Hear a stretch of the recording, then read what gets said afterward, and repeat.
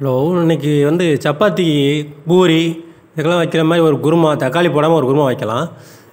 கடாயில் எண்ணெயை ஊற்றி கடுகு போட்டு பட்டை சோம்பு ஏலக்காய் எல்லாத்தையும் போட்டு பருப்பு கடலை பருப்பை போட்டு அப்படியே நல்லா ஒரு பரட்டு பரட்டி ஒரு காஞ்ச வெத்தல் ரெண்டு வெத்தலை கிள்ளி போட்டு ஒரு பெரிய வெங்காயம் ரெண்டு ஒரு பெரிய வெங்காயத்தை வெட்டி போட்டு ரெண்டு பச்சை மிளகாய் கீறி போட்டு அவங்கள மஞ்சள் பொடி மேலே போட்டு அவங்கள போட்டு அப்படியே லைட்டாக மஞ்சள் அப்படியே பூசி விட்டு இங்கிட்டு ஒரு பரட்டு அப்படி ஒரு பரட்டு பரட்டுன்னு பரட்டி அவங்கள கிளறி விட்டு வேக வச்ச ரெண்டு உருளைக்கிழங்க தூக்கி அப்படி நசுக்கி நசுக்கி நசுக்கி அப்படியே உள்ளே தூக்கி போட்டு அவங்கள ரெண்டு பரட்டு பரட்டி பட்டாணி ஒரு குக்கரில் வேக வச்சு அதை கொஞ்சம் அப்படி ஒரு பரட்டு பரட்டுன்னு அதை ஒரு ஊற்றி ஊற்றி அதையும் ரெண்டு பரட்டு பரட்டி ஒரு ரெண்டு தே ஒரு அரை மூடி தேங்காய் எடுத்து அதை நல்லா குறமனை குறமனை அரைச்சி அதை தூக்கிள்ளே போட்டு அதையும் ஒரு பரட்டு பரட்டி அப்புறம் கொஞ்சோண்டு கொஞ்சம் த- தண்ணி அதை தேங்காய் அரைச்சி வச்ச தண்ணியை கழுவி அதை உள்ளே ஊற்றிக்கிற வேண்டியதான் ஊற்றி முடிஞ்சன்மே லைட்டாக கலருக்காக ஒரு கலர் சில்லி பொடியை போட்டுக்கிற வேண்டியதான் போட்ட குழம்பு ரெடி ஊற்றி சாப்பிட்டு பாருங்கள் செம்ம டேஸ்ட்டாக இருக்கும். லைட்டாக உப்பு போட்டுக்குங்க.